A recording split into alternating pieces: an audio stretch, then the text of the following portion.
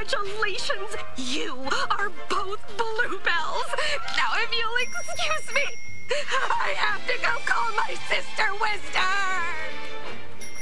We did it! We won! Yes!